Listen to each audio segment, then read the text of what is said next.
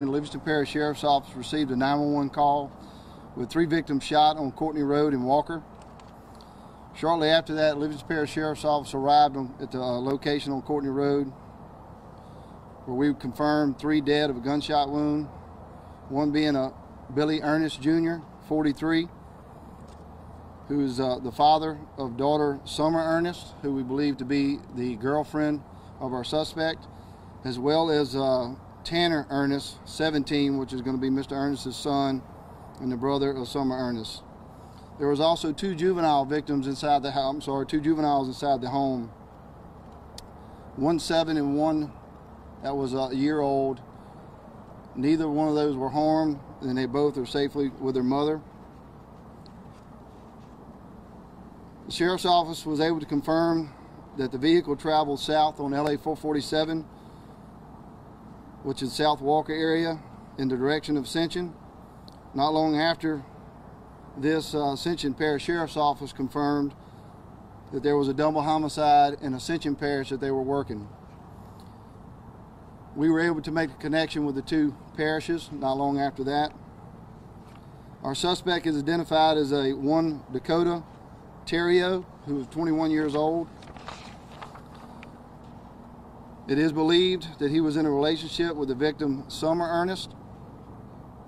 The Livingston Parish Sheriff's Office confirmed the suspect left at around 8.05 a.m. this morning in the victim's vehicle, Mr. Ernest's, which is a 2004 Dodge pickup, gray over silver, license is going to be a Louisiana license. C is in Charlie 583809, and it has an LSU sticker in the back window. The suspect was last seen wearing a blue sweatshirt, blue jeans, and white tennis shoes. He has two tattoos. Uh, one is going to be on his upper uh, right side of his chest. The other is going to be on the inside of his right forearm. We believe the suspect is armed with at least one handgun. As always, we're asking for the public any information to please contact the Livingston Parish Sheriff's Office, the Ascension Sheriff's Office, or Crime Stoppers. We have charged uh, Mr. Theriot with three counts of first degree murder as well as theft of a, a motor vehicle. We've only had one dealing in the past with Mr. Theriot here in Livingston Parish, which is a misdemeanor theft. I'm, I'm sorry, a misdemeanor uh, simple possession of uh, drug paraphernalia. We do not have a motive. It is still undetermined. Uh, after speaking with uh, the mother of uh, who was believed to be his girlfriend. There was uh, no red flags. There's no no sign of anything. So the, we we have no motive at this time. Uh, we are uh, totally focused on finding him. Uh, we're following every lead that is that we that we come up with. Uh, we ask that you uh, really pay attention to the facts, and that's what we have to do.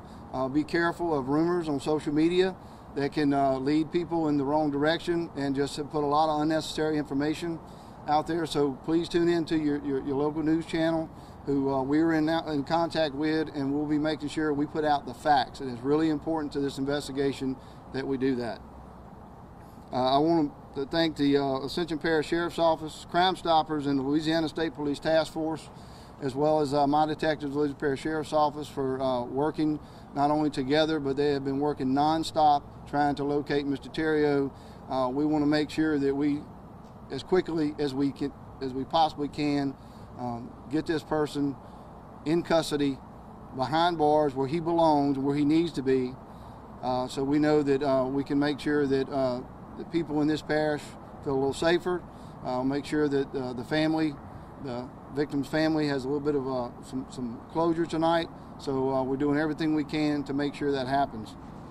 at this time, I'm going to allow Sheriff Weber with the Central Parish Sheriff's Office to uh, go ahead. Well, first and foremost, our condolences to the families of the victims that were slain today. I know they are suffering tonight at the hands of a murderer.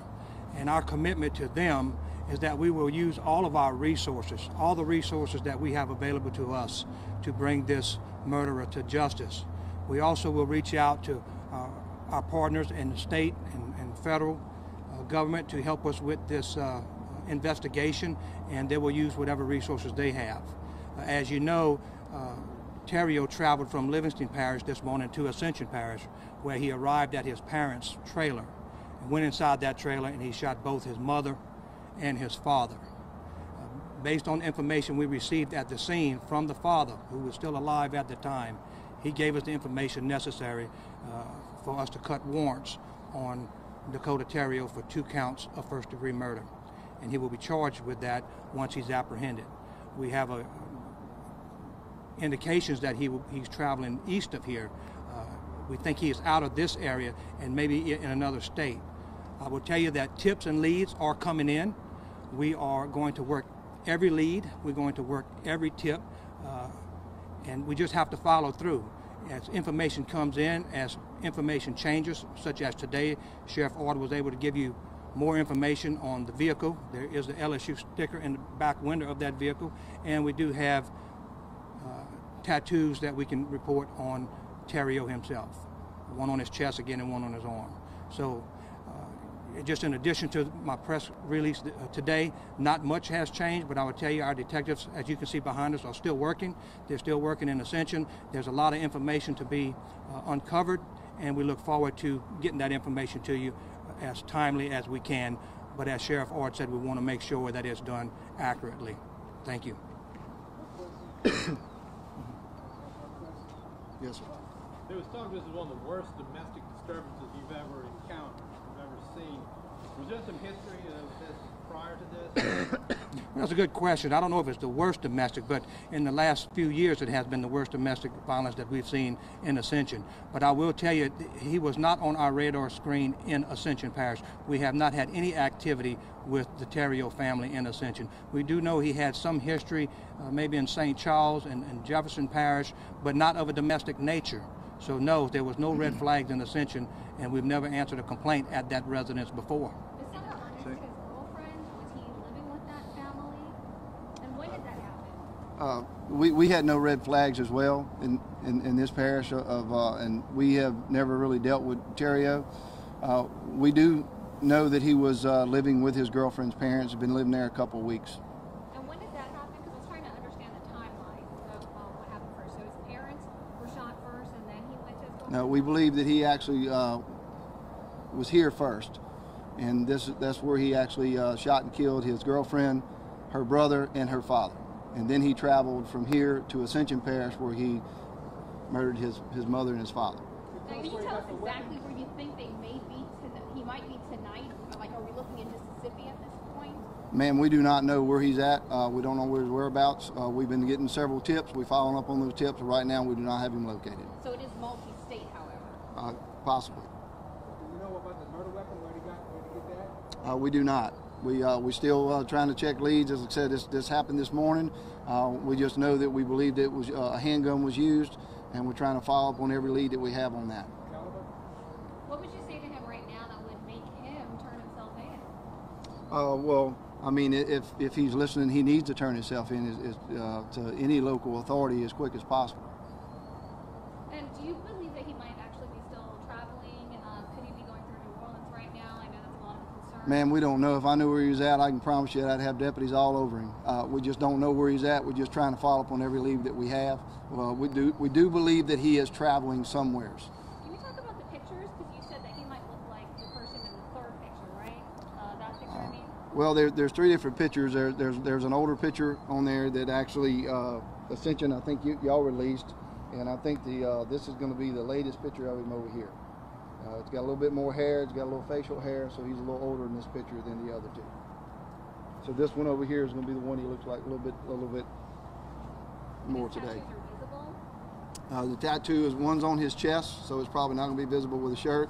The other's on the inside of his uh, right forearm, so with it being cold weather, probably not going to have. Uh, he's probably going to have sleeves on as well. And restraining order or not? Or is there None. any talk about? No, nothing. What are the tattoos of?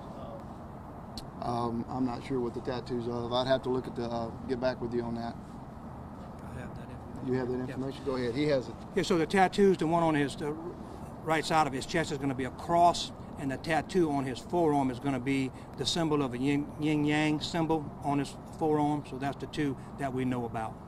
You said he was eating, uh, having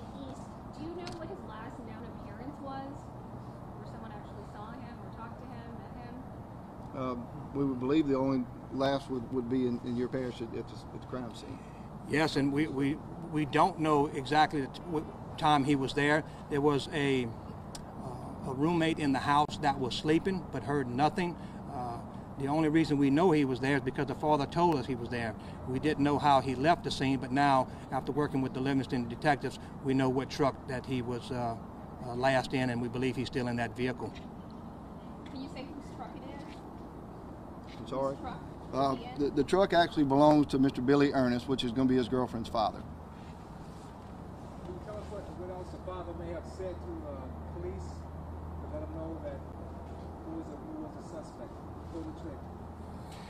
Well, I would tell you the father was, as you know, gravely injured at the time we found him and has since passed away, and we was able to get a dying declaration from him. It, only enough information to let us know that it was his son that committed this act.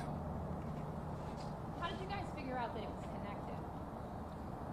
Uh, well, just sharing information and, and the detectives working together. Uh, obviously, we working three here, and uh, we had uh, some names, and that led to detectives sharing information with the detectives over in Ascension Parish, and just be, was able to put it together. All right, guys. Thank you. Thank you. so. Thank you very much.